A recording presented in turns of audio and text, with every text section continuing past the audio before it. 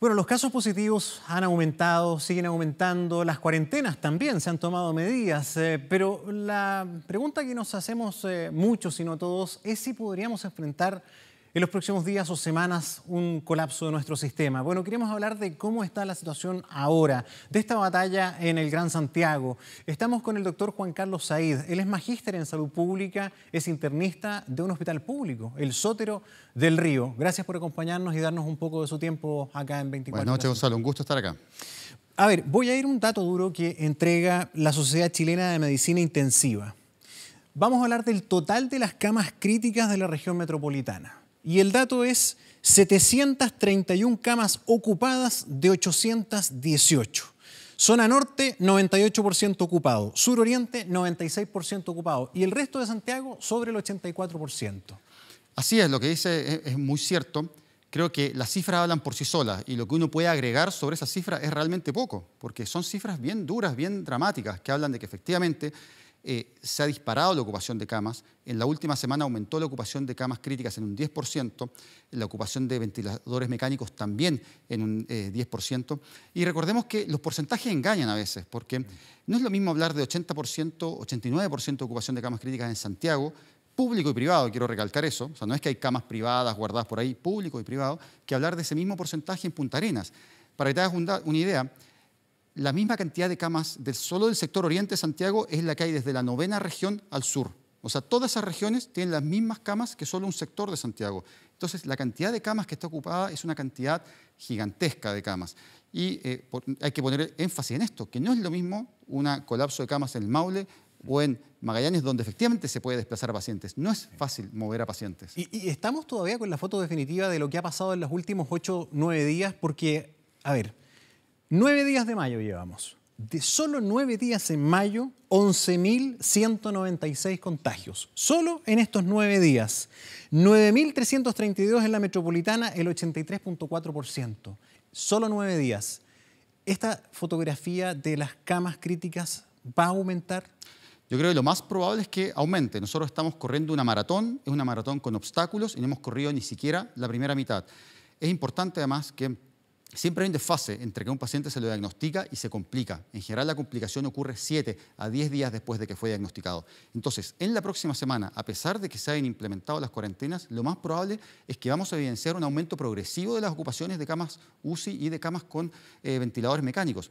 Y eso es algo eh, bastante dramático, en lo cual eh, no hay que ser eh, estadístico, PhD, ni nada. O sea, son cifras que son bastante evidentes y que es muy probable que lleguemos a una ocupación casi total en la región metropolitana. Ahora, el ministro de Salud ha sido bien enfático. en primer lugar, prácticamente todos los días recordar que la letalidad en Chile sigue siendo baja comparada a muchos países, sobre todo los de la OCDE 1.12, para ser bien preciso.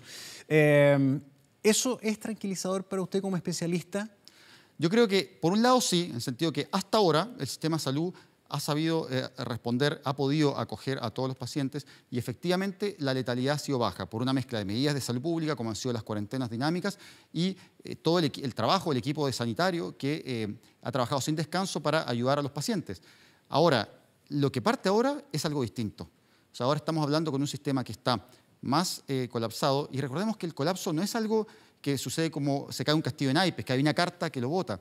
El colapso es un proceso progresivo en que declina la calidad de la atención, en que si a un paciente lo estábamos atendiendo con el ventilador óptimo, lo empezamos a atender con uno que no es el óptimo, que se empiezan a enfermar médicos, que son reemplazados por médicos que no tienen eh, el mismo entrenamiento, la, misma experiencia, eh, que empezamos a, por ejemplo, a sumar eh, camas fuera del hospital. Ejemplo, se construye un hospital de campaña en el Sotero de Río. Eso es positivo, pero ¿de dónde va a salir el equipo de salud para atender a esos eh, Ahora, pacientes? momento, eh, en, términos muy coloquiales, ¿Qué cintura le queda al sistema público, eh, eh, al sistema de salud? Porque acá ya se centralizó todo. Mm. Eh, podríamos decir que no existe un sistema privado y público, se está centralizando todo. Te van a derivar a la, a la cama que haya disponible. ¿Cuál es la capacidad de movimiento que hay? Porque el ministro también ha señalado, tenemos posibilidades de hacer derivaciones.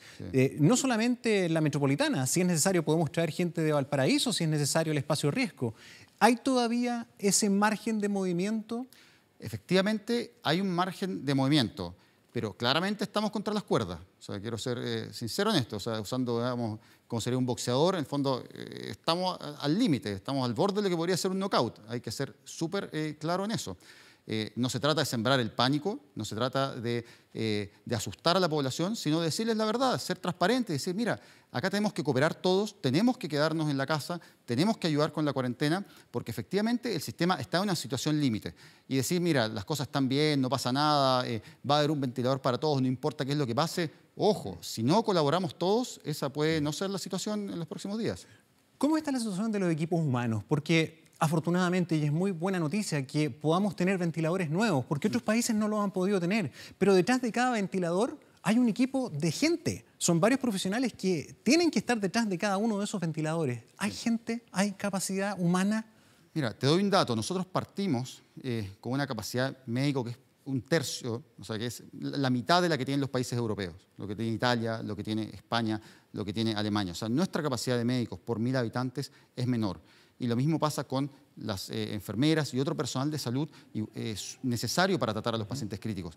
Entonces, hay un desgaste eh, evidente. Se han enfermado médicos. Yo mismo tengo colegas que están intubados, que están conectados en el sótero, En el sótero donde usted trabaja, ¿cuánto personal médico está fuera de combate, entre comillas, por el coronavirus? Mira, no, no manejo... Aproximadamente. evidentemente, esos son datos eh, privados de los pacientes. Es que hay datos que han circulado en las redes, por ejemplo, 70...